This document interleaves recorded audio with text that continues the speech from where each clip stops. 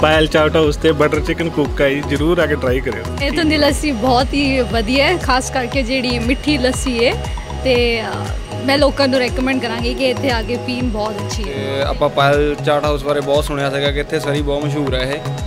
ਤੇ ਬਾਕੀ ਹੁਣ ਖਾਦਾ ਪੀਤਾ ਵੀ ਹੈ ਜੋ ਸਾਰਾ ਕੁਝ ਇੱਥੇ ਬਹੁਤ ਵਧੀਆ ਲੱਗਿਆ ਸਾਨੂੰ। ਹਾਂਜੀ ਵੈਸੇ ਤਾਂ ਸਾਡੇ ਮੈਨੂ ਵਿੱਚ ਸਾਰੀਆਂ ਆਈਟਮਸ ਆ ਪਰ ਇੱਥੋਂ ਦੀ ਜਿਹੜੀ ਫੇਮਸ ਆਈਟਮ ਆ ਉਹ ਚਾਟ ਤੇ ਗੋਲ ਗੱਪੇ ਆ। ਜਿਹਦਾ ਕਰਕੇ ਸਾਰੀਆਂ ਲੇਡੀਜ਼ ਇੱਥੋਂ ਗੋਲ ਗੱਪੇ ਤੇ ਚਾਟ ਖਾ ਕੇ ਬਹੁਤ ਖੁਸ਼ ਹੁੰਦੀਆਂ